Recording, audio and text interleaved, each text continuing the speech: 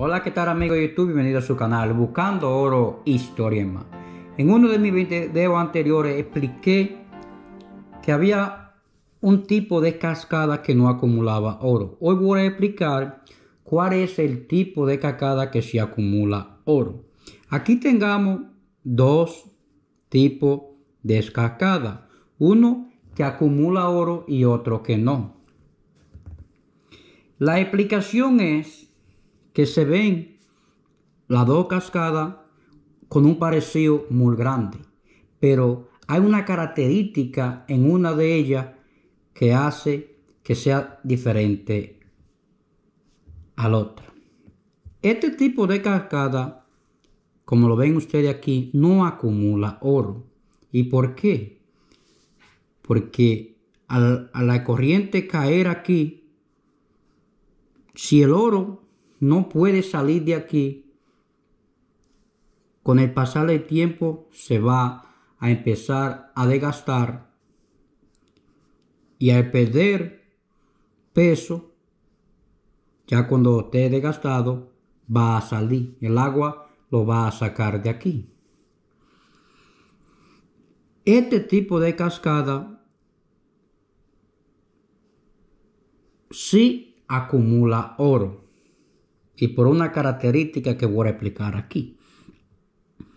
Este tipo de cascada no tiene lo que es esta cueva. Esta cueva que está aquí, como ven ustedes, acumula oro.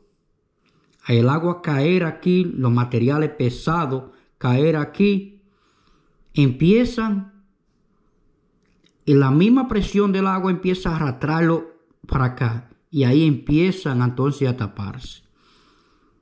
Si no tuviera esta cueva aquí, pasará lo mismo que pasa en esta, que el oro se desgasta o la misma presión del agua lo saca para afuera y corre el río abajo. Pero aquí, cuando hay esas inundaciones, que el río crece fuertemente, empieza la misma corriente a arrastrar materiales para acá y ahí en el fondo entonces empieza los materiales más pesados irse a lo profundo. Y ya se le va a hacer un poco difícil salir de aquí ya que aquí es un agua muerta. Aquí la presión es aquí.